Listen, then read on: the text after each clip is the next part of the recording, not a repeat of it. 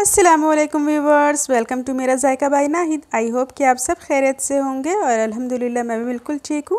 आज मैं आपसे शेयर करने वाली हूँ रॉ बनाना करी जिसका टेस्ट बिल्कुल फ़िश करी जैसा होता है. तो मैंने छः बनाना लिए हैं और इसको मैं पील कर रही हूँ.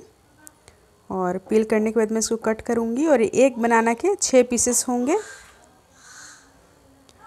तो सबसे पहले मैं इसको हाफ़ करूँगी और इसको तीन पीस इस तरीके से करूँगी. तो हर एक बनाना में छः पीसेस होंगे। और सारे बनाना को इस तरीके से मैं कट कर लूँगी पील करके।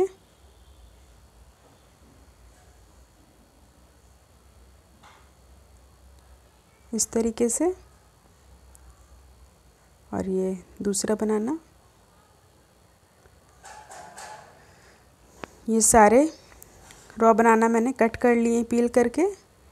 और अब मैं एक मसाला रेडी करूँगी। ये मैंने दो लहसन की कलियाँ ली हैं, जिसमें मैंने छील लिया है। दो इंच अदरक का टुकड़ा है दो प्याज है, टू टीस्पून सरसों है। ये पीली सरसों है, आप चाहें तो काली सरसों भी ले सकते हैं। पेस्ट बना लेंगे हम उसको। पेस्ट रेडी हो चुका है। अब हम इस बनाना को मैरिनेट करेंगे। तो जो हमने पेस्ट तैयार किया है, उसमें से टू टी, टू टीस्पून मैं इसमें डाल रही हूँ। और salt to taste red chilli powder है one teaspoon half teaspoon हल्दी पाउडर है और टू टेबल स्पून मैंने बेसन लिया है इस तरीके से और इसको रोस्ट नहीं किया है और अच्छी तरह से मिक्स कर लिया अब हम इसको फ्राई करेंगे। तो मैं कढ़ाई में तेल डालूँगी फ्राई करने के लिए।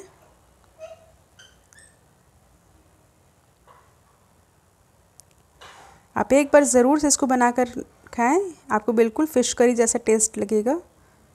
और अब अब एक एक पीस करके हम इसको फ्राई कर लेंगे। एक बार में जितने भी आ सकें, इसको हम गोल्डन होने तक फ्राई करेंगे।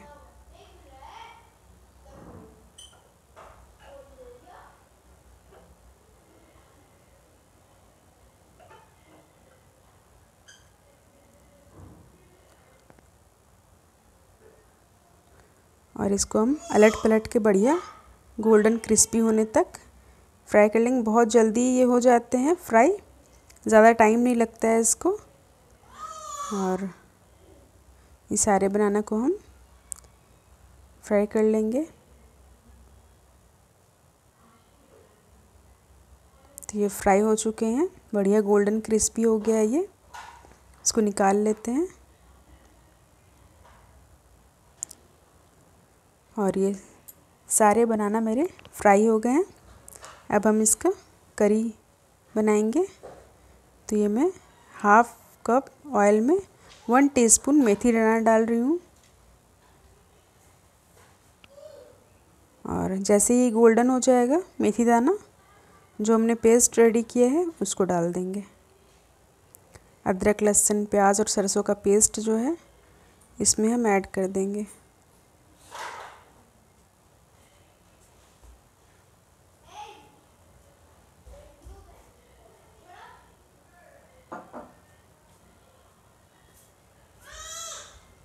थोड़ा सा पानी भी डाल दें, खंगाल के। और अब हम इसमें डालेंगे सॉल्ट टू टेस्ट और हाफ़ टी स्पून हल्दी one teaspoon red chilli powder one teaspoon ज़ीरा पाउडर और वन टीस्पून इसमें गरम मसाला है। बहुत अच्छे से मिक्स करें इसको।